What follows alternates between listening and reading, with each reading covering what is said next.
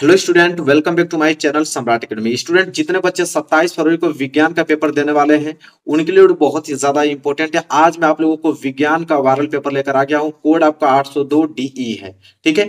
यही पेपर आप लोगों को दो, सत्ताईस तारीख को आप लोगों को देखने को मिलेगा। पूरा का पूरा क्वेश्चन मैं आप लोगों को बताने वाला हूँ। पूरा का पूरा क्वेश्चन आप लोग रट जाओ। ठीक है? एक भी प्रश्न छोड़ के मत आना। अगर इस पेपर का पीडीएफ डाउनलोड करना चाहते हैं तो डिस्क्रिप्शन बॉक्स में लिख दिया हूँ, वहाँ से जाकर डाउनलोड कर या तो गूगल पे सर्च कर लेना, पंकज स्टडी सेंटर, वहाँ से जाकर इस पीडीएफ को डाउनलोड कर लेना। देखो मेरे प्यार बच्चों, वही सत्तर नंबर का पूर्णांक आप लोगों का रहेगा, जैसे हर एक पेपर का होता है, और तीन घंटे पंद्रह मिनट का आप लोगों के पास समय मिलेगा, ठीक है? सबसे पहले यहाँ से आप लोगों का स्टार्ट होगा बहुविकल्पीय प्रश्न, बीस नंबर के लिए, ठीक है? ऑब्जेक्टिव क्वेश्चन और यहाँ पे देखिए खंड अ है बहुविकल्पीय प्रश्न, ठीक है? मैं जूम कर देता हूँ ताकि हर एक प्रश्न आपको अच्छे से दिखे। देखिए, उपखंड क में आप लोगों का पहला प्रश्न पढ़ता हूँ। कह रहा है कि सामान्य स्वस्थ आँख के लिए दूर बिंदु होता है। सामान्य स्वस्थ आँख के लिए मतलब इसका कहने का मतलब यह है कि अगर आपकी आँख बिल्कुल स्वस्थ है आपकी जो आँख है बिल्कुल स्वस्थ है तो आपका दूर बिंदु कितना हो सकता है? मतलब कितना दूर तक आप देख सकते हो? तो अगर आपका आँख स्वस्थ है तो कितना दूर तक देख सकते हो? बताओ 25 सेंटीमीटर 50 सेंटीमीटर 100 सेंटीमीटर, अनंत पर। तो मेरे प्यारों जो इसका राइट आंसर हो जाएगा ऑप्शन नंबर डी क्योंकि अगर आपका आँख स्वस्थ है तो आप अनंत दूरी तक देख सकते हो। जैसे हम लोग चंद्रमा को भी देख लेते हैं, सूर्य को भी देख लेते हैं, ठीक है? तो ये हो जाएगा डी जो है राइट आंसर हो जाएगा। भूलना मत इसको।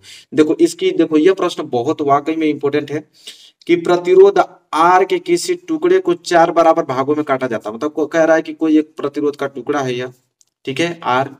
इसे चार बराबर भागों में काटा जाता है। एक, दो, तीन, चार। ठीक है? फिर कह रहा है कि समांतर क्रम में इसे संयोजित कर देते हैं।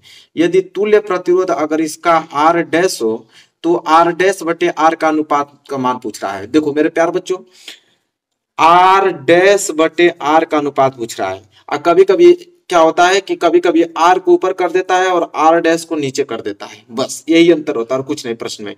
तो यहाँ पे हमें प्रश्न पूछा है कि आर डैश बटे आर का अनुपात होगा तो इसका हो जाएगा ऑप्शन नंबर डी एक बटे सोलह। अगर कभी कभी उलट देता आर को ऊपर कर देता आर डैश को नीचे कर देगा तो उस समय क्या होगा कि सोलह ऊपर चला जाएगा और एक नीचे आ जाएगा। तो इसका आंसर हो जाएगा आप लोगों का सोलह। ठीक है? इसका आंसर क्या हो जाएगा? सोलह हो जाएगा। तो बस अनुपात याद रखना आर डैश बटे आर देगा तो एक बटे सोलह, और आर बटे आर डैश देगा तो इसका आंसर हो जाएगा सोलह। ठीक है? तो ये दूसरा क्वेश्चन था, पूरा का पूरा अच्छे से क्लियर हो गया होगा आप लोगों को। देखो, अगला प्रश्न तीसरा है कि 20 सेंटीमीटर फोकस दूरी वाले उत्तल दर्पण के सामने 20 सेंटीमीटर दूरी पर स्थित वस्तु का प्रतिबिंब बनता है। ठीक है? कह रहा है कि अगर उत्तल दर्पण के सामने 20 सेंटीमीटर दूरी पर अगर वस्तु को रख दिया जाए और उसका प्रतिबिंब 20 सेंटीमीटर दूरी पर ही बनता है। ठीक है? तो क्या होगा? 10 सेंटीमीटर दूर पर दर्पण के पीछे बनेगा कि 10 सेंटीमीटर दूर दर्पण के सामने के अनंत पर कि से कोई नहीं। ठीक है? बताइए। कह रहा है कि 20 सेंटीमीटर फोकस दूरी वाले, अगर फोकस दूरी इसका दिया है, एफ़ बराबर आपको दिया है 20 सेंटीमीटर। ठीक है? और कह रहा है कि 20 सेंटीमीटर दूरी पर स्थित वस्तु मतलब u बराबर आपको दिया है 20 सेंटीमीटर। तो u तो हमेशा आप लोगों का माइनस में होगा। ठीक है? और इसकी फोकस दूरी किसमें होगी? प्लस में होगी।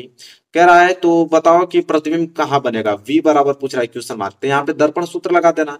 वन बटे एफ़ बराबर वन बटे वी प्लस वन बटे यू इस पे जब सूत्र को हल करके तब वैल्यू आप निकालोगे v का तो आएगा आप लोगों का दस सेंटीमीटर दूर दर्पण के कहा आएगा? पीछे आएगा।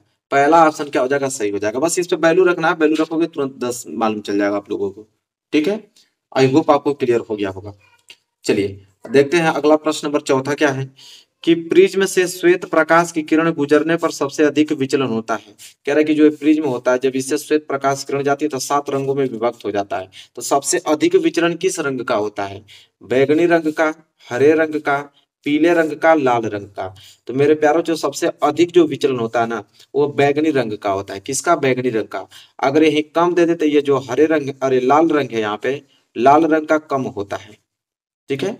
तो अगर अधिक विचलन, बैगनी रंग का कम विचलन, लाल रंग का होता है। ठीक है? चलो, देखो, पांचवा प्रश्न। विद्युत जनित्र में रूपांतरण होता है। विद्युत जनित्र जनित्र मतलब समझते हो, जनरेटर। जनरेटर जानते हो? तो कह रहा कि जनरेटर में विद्युत का रूपांतरण कैसे होता है? तो जनरेटर जब भी देखे होगे तुम लोग जनरेटर तो जनरेटर में पहले हाथ से हम लोग इस तरह चालू करते हैं। तो हाथ से जब लगा रहे हैं तो मतलब यांत्रिक ऊर्जा हम लोग लगा रहे हैं। और जब यांत्रिक ऊर्जा हम लोग लगाते हैं तब वो चालू हो जाता है। और चालू होने लगता है तो उसमें करंट आने लगता है मतलब विद्युत ऊर्जा में कन्वर्ट हो जाता है। तो वही कह रहा है कि विद्युत जनरेटर में रूपांतरण होता है। तो यांत्रिक ऊर्जा से किसमें विद्युत ऊर्जा में। पहले हम लोग हाथ से लगाते हैं यांत्रिक ऊर्जा, तब जाके वह विद्युत ऊर्जा में कन्वर्ट होता है। मतलब सी जो है यह राइट आंसर होगा इसका। ठीक है? चलो, अगला प्रश्न देख लो, छठवां प्रश्न क्या है? देखो, प्रश्न नंबर सिक्स है कि किसी चालक में दो एम्पियर की धारा मतलब धारा मतलब आई बराबर आपको दे दिया है दो एम्पियर। तो कह रहा है कि दो एम्पियर की धारा प्रवाहित हो रही है और दो सेकंड में मतलब टी बराबर टू सेकेंड दो सेकेंड में गुजरने वाले आवेश आवेश मतलब क्यू की मात्रा पूछ रहा है। तो फार्मूला होता है मेरे प्यार बच्चों क्यू बराबर आई इंटू टी फार्मूला होता है। ठीक है? तो ये फार्मूला अगर याद रहेगा तो क्यू बराबर आई आई की वैल्यू कितना है? दो। और टी का वैल्यू कितना है? दो। तो दो दूनी के चार। और आवेश है ना तो आवेश का मतलब क्या होता है? गुलाम होता है। मतलब तो चार गुलाम हो जाएगा। पहला ऑप्शन क्या हो जाएगा? सही हो जाएगा। ठीक है? चलिए, आगे बात करते हैं। सातवां प्रश्न देखो क्या है। सातवां प्रश्न यह है कि एक पारदर्शी माध्यम से दूसरे पारदर्शी माध्यम में, दूसरी पारदर्शी माध्यम में प्रवेश करने पर एक प्रकाश किरण के लिए अपवर्तन कोड का मान आपतन कोड की तुलना में अधिक होता है यदि प्रकाश की किरण। कह रहा है कि कोई एक पारदर्शी माध्यम है। तो उसमें कह रहा है कि प्रकाश की किरण के लिए अपवर्तन कोड का मान जो होगा, वह आपतन कोड की तुलना में अधिक होगा। कब? सघन माध्यम से विरल माध्यम में जा रही होगी कि विरल माध्यम से सघन माध्यम में, कि सघन एवं विरल माध्यम की संयुक्त सत्ता की दिशा में जा रही हो, कि दोनों माध्यम एक ही हो। तो इसका हो जाएगा ऑप्शन नंबर ए। जब वो सघन माध्यम से विरल माध्यम में जाएगी, तभी अपवर्तन कोण का मान जो होगा, आपतन कोण की तुलना में अधिक होगा। इतना याद रखना तो इस प्रश्न को एकदम रट जाओ। पहला ऑप्शन क्या हो जाएगा? सही हो जाएगा। अगला देखो, अगला है कि F E two O three two A L L two O three और टू एफ़ ई दिए गए अभिक्रिया किस प्रकार की है? तो यहाँ पे पूछ रहा है कि जो रिएक्शन है, वो कौन सा रिएक्शन है? संयोजन विक्रिया का है कि विस्थापन का कि वियोजन का कि विस्थापन का? मेरे प्यारे बच्चों, देखो यहाँ फेरस ऑक्साइड एल्यूमिनियम है। लेकिन जब यहाँ पे विक्रिया हो रहा है तो एल्यूमिनियम जो है, वो ऑक्सीजन के साथ मिल गया। तो एल्यूमिनियम ऑक्साइड बना दिया और एफ़ को अलग हो गया।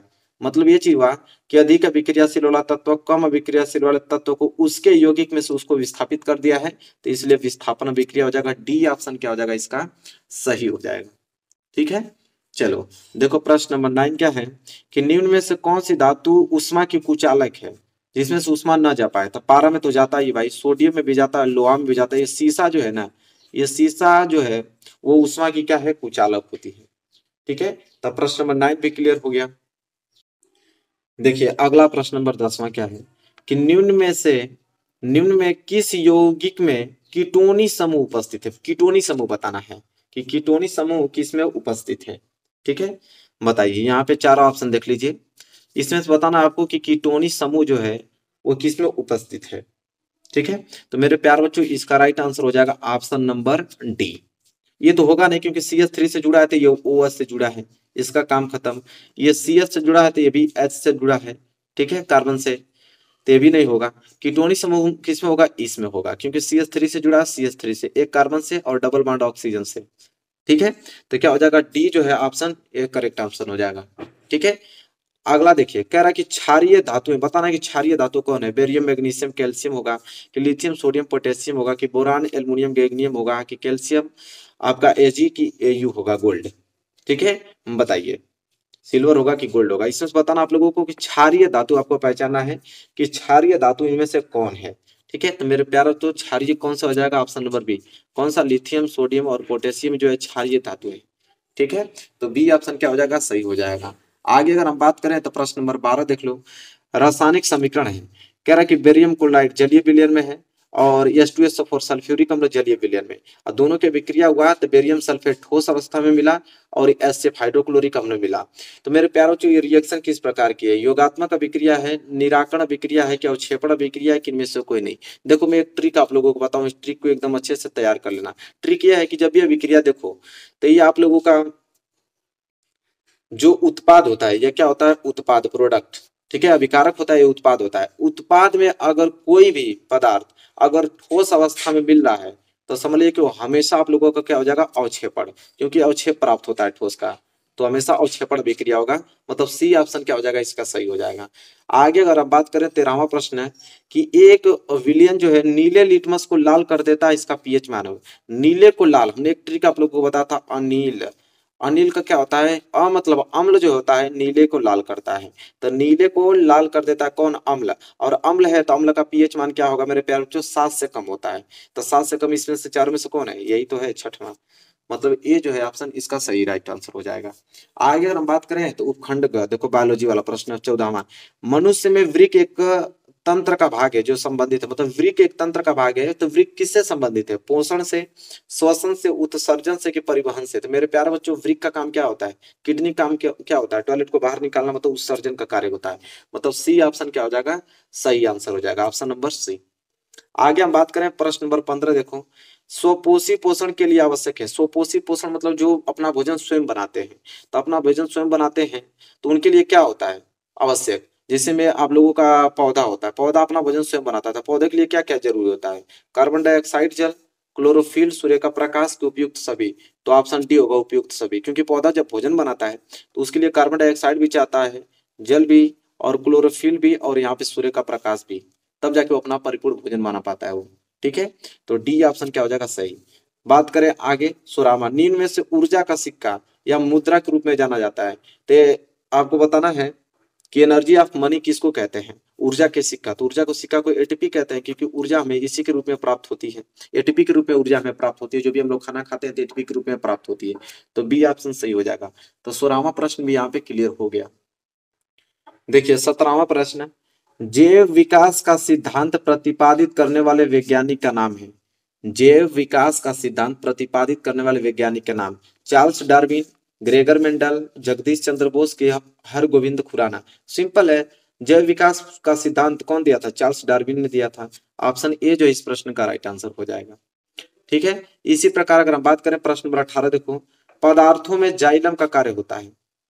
ठीक है? पदार्थों थोड़ी होता पौधों में जाइलम का कार्य होता है। यहाँ पौधों लिख लेना। पौधों में जाइलम का कार्य होता है। तो पौधों में जाइलम तो देखो, दो ही चीज़ तो होता है। हमने इतना ट्रिक आपको बताया कि अगर जाइलम का कार्य पूछे, एक होता है फ्लोयम का। तो जाइलम मतलब जल का। तो जल का संवहन करेगा। ऑप्शन बी, अगर फ्लोयम पूछता कि पौधों में फ्लोयम का कार्य तो फ्लोयम मतलब फ़ूड एफ़ मतलब फ़ूड फ़ूड मतलब भोजन। तो भोजन का संवहन करता। लेकिन हालाँकि यहाँ पे जाइलम का कार्य पूछा तो जाइलम के क्या होता है? जल का संवहन। फ्लोयम पूछता है तो भोजन का संवहन। बात खत्म। चलो। देखो प्रश्न नंबर उन्नीस। निम्न में से कौन सी जीन प्रारूप शुद्ध गोल बीजों को प्रकट करता है? शुद्ध गोल बीजों को। देखो, शुद्ध जब भी आ जाए यहाँ पे, शुद्ध गोल आ जाए ना कि शुद्ध गोल बीजों को तो समझ लेना हमेशा कैपिटल में होगा। हमेशा कैपिटल में। तो कैपिटल में कौन है? यही तो है आर आर। तो डी जो है, वो राइट आंसर हो जाएगा। ठीक है? चलो, बीसवा प्रश्न देखो। हीमोग्लोबिन महत्वपूर्ण भूमिका निभाता है। हीमोग्लोबिन किसमें महत्वपूर्ण भूमिका निभाता है? श्वसन में, उत्सर्जन में, पाचन में, पोषण में। तो हीमोग्लोबिन क्या करता है? रक्त का परिवहन करता है। तो रक्त का परिवहन मतलब कि किसमें होता है? श्वसन में। जब हम सांस लेते हैं तो ऑक्सीजन को आता है ऑक्सीजन को छोड़ता है यहाँ पे। ठीक है? तो किसमें हो जाएगा? श्वसन में हो जाएगा। ठीक है? क्लियर है? चलिए। तो बीस ऑब्जेक्टिव हम लोग यहाँ पे बीस नंबर के एमसीक्यू क्वेश्चन हम लोग कर लिए ठीक है? अब देखो उपखंड का यहाँ से स्टार्ट होगा। और उपखंड में देखो चार नंबर के लिए तैयार कर लो। अभी इस प्रश्न को तैयार करना कि एक प्रिज्म से प्रकाश का जो अपवर्तन की क्रिया चित्र द्वारा समझाना है। और आपतन कोड तथा विचलन कोड को चित्र में दिखाना है। आप लोगों को चार नंबर तुरंत मिल जाएँगे। इतना सिंपल क्वेश्चन तो कहीं नहीं मिलेगा आप लोगों को। ये सारे क्वेश्चन करा दिया हूँ, चार नंबर तुरंत मिल जाएँगे। और अगला चार नंबर का है कि प्रकाश परावर्तन के नियम लिखिए। प्रकाश के परावर्तन का नियम नहीं जानते हो? दो नियम होता है। ठीक है? और इन्हें रेखा चित्र द्वारा आप लोगों को बताना है। ठीक है? और चार नंबर देखो, कितने सिंपल सिंपल प्रश्न है, सारे प्रश्न करके चले आओगे। ठीक है? तीसरा प्रश्न देखो, तीन प्रतिरोध है। ठीक है? R one R two R three तीन प्रतिरोध को अगर हम समांतर क्रम में जोड़ देते हैं तो तुल्य प्रतिरोध के लिए व्यंजक बताइए। तुल्य प्रतिरोध के लिए इसका सूत्र क्या होगा? चार नंबर के। मतलब कि जब तीन प्रतिरोध को हम लोग समांतर क्रम में जोड़ते हैं, ठीक है? तो समांतर क्रम में जब जोड़ते हैं तो इसके लिए तुल्य प्रतिरोध का सूत्र पूछ रहा है कि तुल्य प्रतिरोध का सूत्र क्या होगा? ठीक है? और चार नंबर मिल जाएगा आप लोगों को। चौथा प्रश्न देखो, छह नंबर के लिए प्रश्न। दो प्रश्न देगा, अथवा करके। पहला आ रहा तो पहला कर दो, दूसरा आ तो दूसरा। क्या है? कि दक्षिणा हस्त अंगुष्ठ का नियम आपको नियम बताना है, और यह नियम किस प्रकार फ्लेमिंग के वामहस्त नियम से भिन्न है? और किसी क्षैतिज शक्ति संचरण लाइन से, लाइन में पूर्व से पश्चिम की दिशा और विद्युत धारा प्रवाहित हो रही है, इसके ठीक नीचे की दिशा की बिंदु के चुंबकीय क्षेत्र की दिशा क्या होगी? तो दक्षिणा हस्त का नियम पूछ रहा है यहाँ पे। ठीक है, और फ्लेमिंग के वामहस्त नियम से कैसे भिन्न है तो आपको फ्लेमिंग के वामहस्त नियम भी आप लोगों को दोनों लिखना पड़ेगा। तब जाके आप लोग तुलना करके बता पाओगे कि उससे अलग क्यों है। तो छह नंबर मिल जाएगा। अगर ये नहीं आ रहा है तो ये तो भाई प्रश्न आप लोग कर ही डालोगे कि विद्युत मोटर का सिद्धांत तथा कार्य विधि स्पष्ट कीजिए, और विद्युत मोटर में विभक्त वलय का क्या महत्व है, आराम से कर दोगे। तो ये प्रश्न तो आप लोग वाकई में प्रैक्टिस कर लिए हो गया और याद भी होगा, आप लोग तुरंत कर लोगे। आगे का अगर हम प्रश्न बात करें तो यहाँ पे उपखंड खा जाता है। देखो, उपखंड ख में क्या है यहाँ पे? उपखंड ख में यहाँ पे मेरे प्यारे बच्चों की निम्नलिखित रासायनिक अभिक्रियाओं के लिए संतुलित रासायनिक समीकरण लिखिए ठीक है? संतुलित रासायनिक समीकरण लिखना है। जैसे में पहला है कि सल्फ्यूरिक अम्ल, देखना, ध्यान सुनना। सल्फ्यूरिक अम्ल और सोडियम हाइड्रोक्साइड के जलीय विलयन परस्पर अभिक्रिया करके जलीय सोडियम सल्फेट और जल बनाते हैं। ठीक है? देखो, ये कहना क्या चाह रहा है, कैसे हम लोग करेंगे इसको? देखिए, संतुलित करना है ना। देखो, सल्फ्यूरिक अम्ल। सूत्र मालूम होना चाहिए, सल्फ्यूरिक अम्ल का सूत्र क्या होता है? एच टू एसओ फोर होता है। ठीक है, सिंपल। इसके बाद कह रहा है plus sodium hydroxide sodium hydroxide मतलब क्या होता है? एन मतलब सोडियम ओ एच मतलब हाइड्रोक्साइड सोडियम हाइड्रोक्साइड का सूत्र क्या होता है? एन ए ओ एच ठीक है? अब अभिक्रिया करके क्या बना रहा है यहाँ पे? जलीय विलयन परस्पर अभिक्रिया करके जलीय सोडियम सल्फेट बनाता है। क्या बनाता है? सोडियम सल्फेट बनाता है। तो सोडियम सल्फेट का सूत्र क्या होता है? N A two S O four sodium sulphate plus क्या बनाता है? जल बनाता है मतलब एच टू ओ अब इसको संतुलित करना है, ठीक है? देखो, संतुलित कैसे होगा यहाँ पे? सिंपल, यहाँ पे संतुलित हम लोग करेंगे। देखो, हाइड्रोजन यहाँ पे कितना है? दो। और हाइड्रोजन यहाँ पे तीन। और यहाँ पे हाइड्रोजन कितना है? सिर्फ़ दो। तो दो हाइड्रोजन यहाँ पे तीन हाइड्रोजन है। तो हम लोग क्या करेंगे? यहाँ पे दो लगा देते हैं। तो दो हाइड्रोजन यहाँ हो जाएगा, दो हाइड्रोजन चार हाइड्रोजन हो जाएँगे, ठीक है? तो यहाँ पे दो लगा देंगे तो दो दूनी के चार हाइड्रोजन यहाँ पे भी हो जाएँगे, ठीक है? सल्फेट की बात करें तो सल्फेट देखो, एक, बिल्कुल सोडियम के सोडियम दो है यहाँ पे, ठीक है? और सोडियम यहाँ पे क्या हो गया? दो, और यहाँ पे सोडियम एक ही है, ठीक है? सोडियम एक ही क्या है? सोडियम यहाँ पे भी दो है। देखो एन ए टू है ना तो सोडियम यहाँ पे भी दो। मतलब बिल्कुल संतुलित हो गया। ये पहला वाला क्या हो गया? संतुलित हो गया, ठीक है? चलो, दूसरा अगर हम बात करें तो देखो क्या है दूसरा, कि फास्फोरस क्लोरीन गैस में जलकर फास्फोरस अपेटा क्लोराइड निर्मित करता है। ठीक है? तो देखो कैसे हम लोग इसको करेंगे? Phosphorus chlorine gas. ठीक है? तो फास्फोरस तो फास्फोरस का सूत्र क्या होता है? पी और क्लोरीन गैस के साथ अभिक्रिया करता है सी लिख देंगे। ठीक है? अभिक्रिया करके क्या बनाता है यहाँ पे? पेंटाक्लोराइड देखो पेंटाक्लोराइड का सूत्र होता है P C L five pentachloride ठीक है? संतुलित करना तो क्लोरीन पाँच यहाँ पे क्लोरीन कितना है यहाँ पे? क्लोरीन यहाँ पे है आपका दो फास्फोरस यहाँ पे एक, और यहाँ पे फास्फोरस एक। हम क्या करेंगे कि यहाँ पे दो लगा देंगे। जैसे दो लगाओगे ना तो यहाँ पे हो जाएगा कि फास्फोरस दो तो यहाँ पे भी दो लगा दोगे तो फास्फोरस दो। लेकिन क्लोरीन कितना हो जाएगा? पाँच दूनी के दस। तो यहाँ पाँच लगा दो तो पाँच दूनी के दस, ये भी हो जाएगा सिंपल ठीक है? क्लियर हो गया? चलो सी वाला देखो। जिंक प्लस सिल्वर नाइट्रेट बराबर zinc nitrate plus silver. Zinc तो जिंक क्या होता है? जेड एन और plus silver nitrate. Silver nitrate का क्या होता है? ए जी एनओ थ्री होता है। A G N O three silver nitrate. ठीक है? गिप्स देता है क्या? Zinc nitrate. Zinc nitrate, Z N nitrate का N O three whole twice. क्योंकि जिंक दो देता है तो दो यहाँ हो जाएगा। और प्लस सिल्वर। सिल्वर का क्या होता है? ए जी अब इसको हमें संतुलित करना है तो संतुलित कैसे होगा? तो ए जी यहाँ पे एक है ए जी यहाँ पे एक, लेकिन नाइट्रो नाइट्रेट दो बार है नाइट्रोट यहाँ पे एक बार है तो यहाँ पे दो लगा दो तो नाइट्रेट दो बार, लेकिन यहाँ पे सिल्वर दो बार तो यहाँ पे दो लगा दो तो सिल्वर भी दो हो जाएगा, बिल्कुल संतुलित हो गया। डी वाला देखो डी वाला क्या है? लास्ट है डी वाला। मैग्नीशियम प्लस हाइड्रोजन क्लोराइड देता है मैग्नीशियम क्लोराइड प्लस हाइड्रोजन बनाता है ना तो मैग्नीशियम मतलब एम जी ठीक? प्लस हाइड्रोजन क्लोराइड का क्या होगा? हाइड्रोजन क्लोराइड चाहे हाइड्रोक्लोरिक अम्ल, एक ही होता है, या सी ठीक है? मैग्नीशियम क्लोराइड बनाता है M G C L two plus hydrogen बनाता है। हाइड्रोजन के सूत्र क्या होता है? एच टू इसे संतुलित करना है। तो संतुलित करने के लिए क्या हो जाएगा? हाइड्रोजन यहाँ पे कितना है? दो। हाइड्रोजन यहाँ पे एक, यहाँ दो लगा दो बात खत्म। क्लोरीन भी दो, क्लोरीन दो, मैग्नीशियम एक मैग्नीशियम एक, बिल्कुल। देखो, चारों को हमने लिख के अच्छे से संतुलित कर दिया, उतार लो ठीक है? क्लियर हो गया? चलो। अगला देखो, अगला प्रश्न क्या है कि प्रश्न नंबर छठवा पूछ रहा है कि क्या होता है जब केवल रासायनिक समीकरण लिखना है? क्या होता है जब? देखो, कह रहा है कि सोडियम बाइकार्बोनेट सोडियम बाइकार्बोनेट खाने सोडा को गर्म करते हैं। ठीक है?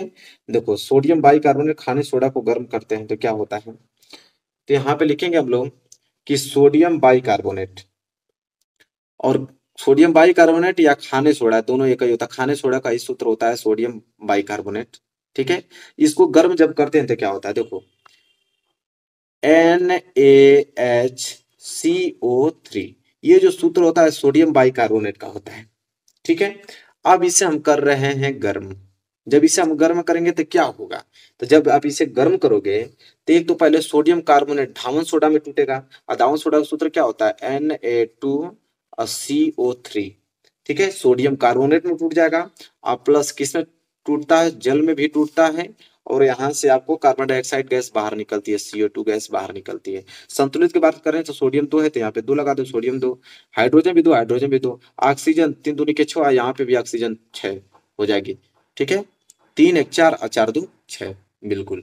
तो जब भी वही पूछ रहा है हमसे कि सोडियम बाइकार्बोनेट या खाने सोडा गर्म करते हैं तो क्या होता है? तो देखो, जब इसको गर्म करते हैं तो सोडियम कार्बोनेट जल और कार्बन डाइऑक्साइड में टूट जाता है।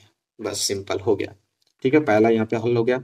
दूसरा कह रहा है, अमोनिया क्लोराइड को गर्म करते हैं तो क्या होता है? तो देखो, अमोनिया क्लोराइड को जब हम लोग गर्म करते हैं तो अमोनिया क्लोराइड को जब हम गर्म करते हैं तो वो हाइड्रोजन क्लोराइड गैस में मतलब बदल जाता है। कैसे देखो? अमोनिया क्लोराइड, अमोनिया का सूत्र क्या होता है? N H four C L, ammonium chloride. ठीक है?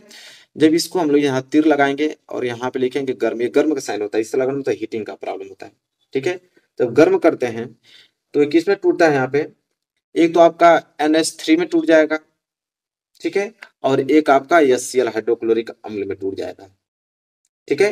हाइड्रोजन क्लोराइड में टूट जाता है, ठीक है? और अमोनिया में। और इसको संतुलित की बात करें तो ऑलरेडी संतुलित है यहाँ पे। इसको संतुलित करने की ज़रूरत ही नहीं है, क्योंकि हाइड्रोजन तीन एक हाइड्रोजन चार तो हाइड्रोजन चार है। क्लोरीन एक क्लोरीन एक नाइट्रोजन एक नाइट्रोजन एक, बिल्कुल। तो यहाँ से आपके दोनों क्लियर हो गए, ठीक है? चलिए, आगे हम बात करें तो प्रश्न नंबर देखो यहाँ पे। सातवा, छह नंबर के लिए प्रश्न मतलब एक, दो, तीन, चार, पाँच, छह। छह है, छह करोगे तो छह नंबर मिलेगा। ठीक है? चलिए तो देखते हैं क्या है। प्रश्न पहला यह है कि मतलब सातवां इसमें, कि निम्नलिखित अभिक्रिया में से प्रत्येक के लिए संतुलित रासायनिक समीकरण लिखिए संतुलित। कह रहा है कि कैल्शियम हाइड्रोक्साइड की अभिक्रिया किससे कराएँ? कि कैल्शियम कार्बोनेट प्लस जल प्राप्त हो। तो देखिए, कैल्शियम हाइड्रोक्साइड। तो पहले हम लिखेंगे, पहला हम लोग ए पार्ट कर रहे हैं। कैल्शियम हाइड्रोक्साइड को होता है C A O H whole twice calcium hydroxide ठीक है? प्लस कह रहा है, किससे विक्रिया कराएँ कि कैल्शियम कार्बोनेट जल तो ये जानते हैं कार्बन डाइऑक्साइड से विक्रिया कराते हैं सीओ टू से। जब सीओ टू से अभिक्रिया कराओगे तो कैल्शियम कार्बोनेट मतलब सी एस सीओ थ्री प्राप्त होगा और प्लस जल मतलब एच टू ओ प्राप्त होगा। ठीक है? संतुलित की बात करें यहाँ पे तो ये ऑलरेडी संतुलित है, इसे संतुलित करने की ज़रूरत नहीं है। ठीक है? बी वाला पार्ट देखिए। कह रहा है कि किसके अभिक्रिया सिल्वर नाइट्रेट से कराएँ कि जिंक नाइट्रेट प्लस सिल्वर प्राप्त हो? तो भाई जिंक से अभिक्रिया कराएँगे मतलब यहाँ पे जिंक भरेंगे। यहाँ पे खाली स्थान पे क्या भरेंगे? Zinc plus silver nitrate. Silver nitrate का क्या होता है? A G N O three A G N O three क्या बनाता है? Zinc nitrate. तो जिंक नाइट्रेट का क्या हो जाएगा? जेड एन और नाइट्रेट का क्या हो जाएगा? N O three whole twice और प्लस क्या बनाता है? सिल्वर सिल्वर क्या हो जाएगा? ए जी संतुलित करने की बारी है तो यहाँ पे आप दो लगा लो, ठीक है? और यहाँ पे आप दो लगा दो। बिल्कुल संतुलित हो जाएगा, ठीक है? चलो, तीसरा देखो। एल्युमिनियम के विक्रिया किससे कराएँ? कि एल्युमिनियम क्लोराइड प्लस कापर बने। तो एल्युमिनियम, देखो, एल्युमिनियम क्या हो जाएगा? एल ठीक है? और अभिक्रिया किससे कराएँ? कि एल्युमिनियम क्लोराइड या कापर बने। तो इसे हम कापर क्लोराइड से कराएँगे मतलब C U C L two से कराएँगे, कापर क्लोराइड से। ठीक है? जब कापर क्लोराइड से अभिक्रिया कराओगे तो आपका बनेगा एल्युमिनियम क्लोराइड एल्युमिनियम क्लोराइड हो जाएगा A L C L three और प्लस क्या बनाएगा? कापर तो कापर क्या हो जाएगा? सी यू संतुलित की बात अगर हम करें तो यहाँ पे तीन लगा दो और यहाँ पे आप दो लगा दो और यहाँ पे आप तीन लगा दो। ठीक है? संतुलित हो जाएगा। आगे अगर हम बात करें डी वाला, देखो barium chloride plus potassium sulphate मिलके बेरियम सल्फेट और क्या बनाते हैं? तो देखो, पहले क्या है? बेरियम क्लोराइड बेरियम क्लोराइड का सूत्र क्या होता है? B A C L two barium chloride ठीक है? Plus potassium sulphate potassium sulphate का K to S O four हो जाएगा, ठीक है? गिप्स बनाता है बेरियम सल्फेट बेरियम सल्फेट मतलब B A S O four ठीक है? और क्या बनाता है? यहाँ पे पूछ रहा है कि यहाँ पे बनाएगा क्या? तो बेरियम सल्फेट बनाएगा और यहाँ पे पोटेशियम क्लोराइड बनाएगा, ठीक है? यहाँ से पोटेशियम और यहाँ से क्लोराइड ठीक है? मतलब के बनाएगा पोटेशियम क्लोराइड संतुलित करें तो यहाँ पे दो लगा दो, ठीक है? और दो लगाने से हो जाएगा क्योंकि के टू यहाँ पे के टू यहाँ पे। सी की बात करें तो सी एल दो सी एल दो भी यहाँ पे है, ठीक है? तो डी वाला भी हो गया। ई e वाला पार्ट अगर हम बात करें तो ई e वाला देखो क्या है। ई e वाला है यहाँ पे कि मैग्नीशियम प्लस हाइड्रोक्लोरिक अम्ल। मैग्नीशियम क्लोराइड और क्या बनाते हैं, ठीक है? देखो कैसे हल करेंगे। मैग्नीशियम मैग्नीशियम मतलब क्या होता है? एम तो हमने एम लिख दिया, ठीक है? और प्लस हाइड्रोक्लोरिक अम्ल मतलब एच जब आपस में विक्रिया कराएँगे तो देखो मैग्नीशियम क्लोराइड बना रहा है। मैग्नीशियम क्लोराइड मतलब एम ठीक है? और क्या बनाएगा? तो यहाँ पे हाइड्रोजन गैस बनाएगा। जब क्योंकि धातु का विक्रिया जब अम्ल से कराते हैं तो हाइड्रोजन गैस निकलता है, सबको मालूम है, ठीक है? संतुलित की बात करें हाइड्रोजन तो हाइड्रोजन एक ही तो यहाँ पे दो लगा दो तो बस संतुलित हो गया ये भी लास्ट देखो ई e के बाद एफ़ कह रहा है कि किसके विक्रिया क्लोरीन से कराएँ कि हाइड्रोजन क्लोराइड? तो सिंपल है हाइड्रोजन क्लोराइड का मतलब कि यहाँ पे पूछ रहा है एससीएल किससे प्राप्त होगा? तो भाई एससीएल का विक्रिया किससे कराते हैं? हाइड्रोजन गैस से और प्लस क्लोरीन गैस से। जब विक्रिया कराओगे तो एचसीएल प्राप्त होगा। यहाँ पे दो लगा दो, संतुलित हो जाएगा। तो देखो सिक्स छह पूछा था। छह हमने संतुलित करके आप लोगों को बता दिया। आई होप आपको क्लियर हो गया होगा अच्छे तरीके से। आगे अगर हम बात करें अगर ये नहीं छव करना चाहते हो तो अथवा करके ऑप्शन दिया है कि संयोजन विक्रिया किसे कहते हैं? संचारण की बात है, भर्जन की बात है तो दो दो नंबर करोगे तो छह नंबर क्लियर हो जाएगा। अगर ये नहीं करना चाहते हो तो ये कर सकते हो। ऐसे सारे टॉपिक हमने वीडियो बना रखी जाके देख सकते हो कि भर्जन किसे कहते हैं संचारण किसे कहते हैं, संयोजन विक्रिया किसे कहते हैं। ठीक है? तुरंत क्लियर हो जाएगा। आगे हम बात करें तो देखो यहाँ पे खंड ग स्टार्ट होता है। खंड ग में यहाँ पे आठवां प्रश्न है, परिवार नियोजन की विधियों का उल्लेख कीजिए। ठीक है? और नाइन है कि मानो के आहार नाल का नमांकित चित्र बनाइए देखिए, आहार नाल का नमांकित चित्र बनाना आज ही सीख लो। और परिवार नियोजन तो इंपॉर्टेंट है भाई। एकदम पेपर में एकदम छाप के आना, ठीक है? तो पूछता ही पूछेगा, ठीक है? देखो समझात तथा समरूप अंगों का उदाहरण देकर आप लोगों को समझाना है, ठीक है? और वृक्कों में मूत्र का निर्माण की प्रक्रिया का सचित्र वर्णन कीजिए, ठीक है? तो ये काम करना है। अगर ये नहीं करते हो तो अथवा करके एक ऑप्शन और दिया है आपको, ठीक है? देखो यहाँ दस प्रश्न तक हो गया ना, दस प्रश्न तक। ग्रामा प्रश्न वृक्क में मूत्र निर्माण की प्रक्रिया का सचित्र वर्णन करो। अगर ये नहीं कर पा रहे हो ग्रामा प्रश्न तो अथवा करके एक ऑप्शन और दिया है। वो ऑप्शन है कि मानव के नर जनन तंत्र का सचित्र वर्णन कीजिए। देखिए, दोनों टॉपिक बहुत इंपॉर्टेंट है, दोनों आप लोग रट के जाना। देखो, इस जो पीडीएफ है, इस पीडीएफ को अगर डाउनलोड करना चाहते हो तो देखो गूगल पे सर्च करना गूगल पे जाके पंकज स्टडी सेंटर यहाँ से जाके वहाँ पे आप लोगों को मिल जाएगा पीडीएफ जाके डाउनलोड कर लेना पंकज स्टडी सेंटर पे। ठीक है? और यहाँ पे वेबसाइट भी हमने दिया है Pankaj study centre dot com. वहाँ पे जाके ढूंढ लेना, वहाँ पे मिल जाएगा आप लोग को। बाकी पूरा सोल्यूशन तो मैं कराई दिया हूँ। और इसी वीडियो के डिस्क्रिप्शन में भी लिंक इसको दिया हूँ तो इसी वीडियो के डिस्क्रिप्शन में जाके भी इसको डाउनलोड कर लेना। आई होप आपको क्लियर हो गया होगा, ठीक है? तो वीडियो को शेयर कर दो चैनल पर नए तो चैनल को सब्सक्राइब करके बेल आइकन को प्रेस कर लेना। मिलेंगे प्यार से नेक्स्ट वीडियो में, तब तक के लिए धन्यवाद।